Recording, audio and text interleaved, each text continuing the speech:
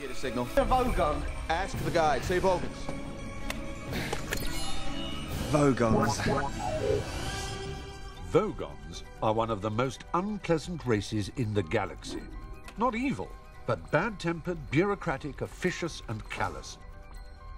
They wouldn't even lift a finger to save their own grandmothers from the ravenous Bugblatter beast of Traal without orders, signed in triplicate, sent in, sent back, queried, lost, found, subjected to public inquiry, lost again, and finally buried in soft peat for three months and recycled as firelighters. On no account should you allow a Vogon to read poetry to you.